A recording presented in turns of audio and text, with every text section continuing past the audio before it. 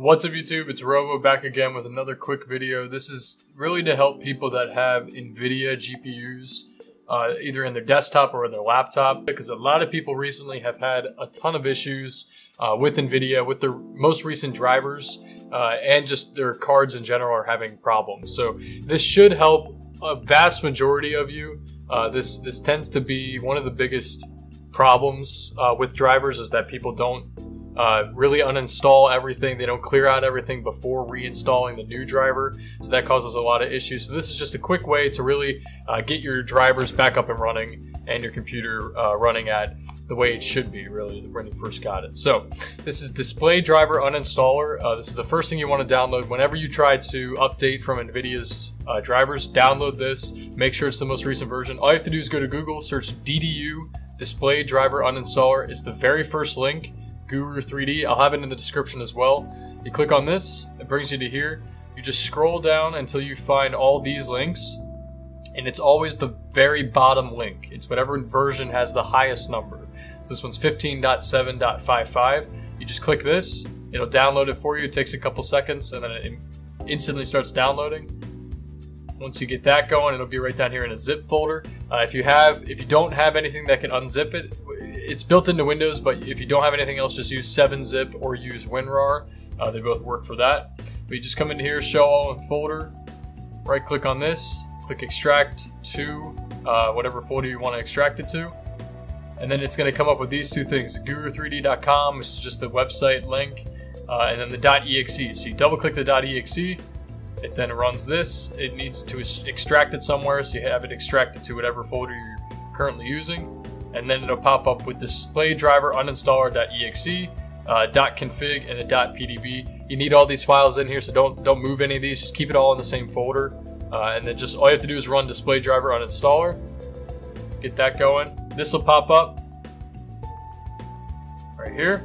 You just want to launch it in normal mode. You can do it in safe mode or safe mode with networking, but I've always done it in normal mode, and never had an issue. Then you just hit launch this will pop up. It'll detect your GPU. It'll tell you what, what you're using, what version of Windows you're using. A GPU right down here. Right now I'm running a 680. And you select, if you want to see this done on AMD, all you have to do come down and select AMD. It also works for Intel, but right now I'm just showing NVIDIA. Uh, then you click clean and restart. So what this does is it'll delete It'll uninstall the old driver and get rid of all the registry files, all the extra files that NVIDIA puts into your computer to make the driver work. It'll clear all that out and then reboot your computer. When you reboot, you'll then have uh, no other display driver that's installed. You'll probably be running the Intel display driver or whichever one that you have uh, installed from your uh, CPU. So once you get that, then you want to run the regular driver to reinstall uh, the NVIDIA driver. But first, make sure you use this to clean out your computer. It'll make sure it gets rid of all the old files and make sure that all that junk is cleared out before you install the new driver. So once you get that, you know, uninstall it, clean it all up. Then you want to go to NVIDIA's website. Don't use GeForce Experience, it's terrible. Uh, it really, all it does is it downloads the drivers for you.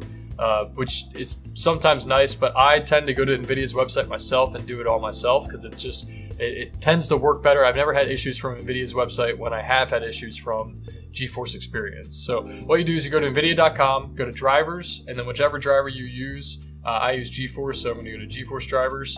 Then go down to manual driver search, and you want to select your uh, series and then your specific model and then select whatever version of Windows you're using. I'm using Windows 10 64-bit, and then you hit Start Search. Then this will go and search for all the drivers that have been used for your GPU uh, in the past, as well as the current version. The current version is the very top one. You just click on that, and then click Agree and Download. So this is for the 364.72 driver. Uh, you know, a lot of people don't have any issues with this. A lot of people are saying it works perfectly fine. If you find yourself having problems with this driver, all you have to do is go to NVIDIA.com once again. But instead of going to GeForce, go to all NVIDIA drivers, then scroll down to beta and older drivers, and then search again for your GPU, 600, 680 series for me.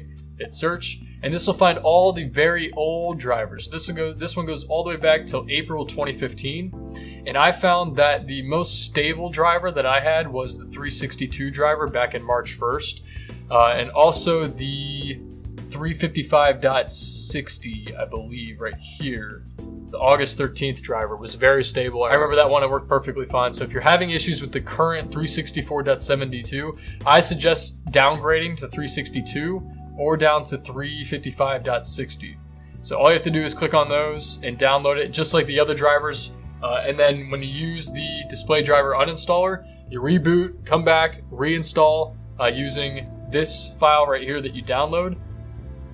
Right there, it'll tell you the name of it or the, the, version of the driver. And once you install that, you should be good to go and not have any more problems. But once uh, you get this display driver downloaded, you can go to your C drive, then go to NVIDIA display driver, let this launch, and once you see this pop up, it is going to check your system for compatibility. But what you want to make sure that you want to do is go in and select clean installation. Make sure that you don't reinstall this on top of anything else, any other settings.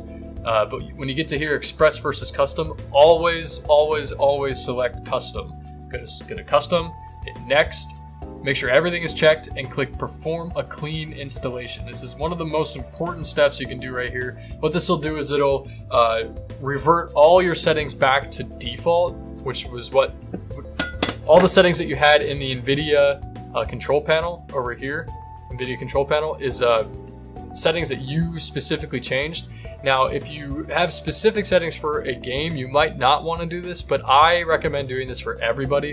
And then whenever a game you had before, you can go back and re-change it back to what you had before. This just makes sure that every setting that is being put onto the computer with NVIDIA is the default settings and makes sure that it runs it at uh, default compatible settings. So this should fix any problems you have with NVIDIA. Let me know if you have any other specific problems down in the comments down below and I'll try to help you out. I know a lot of people have very different uh, results when it comes down to NVIDIA drivers, but if you have success, let me know again in the comments down below. Give this video a like and I will see you guys in the next one.